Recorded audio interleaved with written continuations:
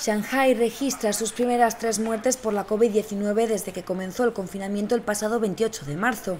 Esta es la peor oleada de contagios a la que la ciudad china intenta hacer frente desde el comienzo de la pandemia. Los fallecidos tienen entre 89 y 91 años, un dato importante si se tiene en cuenta la baja tasa de vacunación entre los mayores en el país asiático.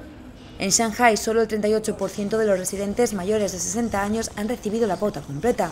La ciudad ha entrado en su cuarta semana de confinamiento con más de 320.000 contagios, la mayoría de ellos asintomáticos. Pese a que el cansancio entre los residentes se empieza a notar, las autoridades se mantienen inflexibles en su estrategia para detener los contagios. Está previsto que se lleve a cabo una nueva ronda de test masivos para los residentes confinados.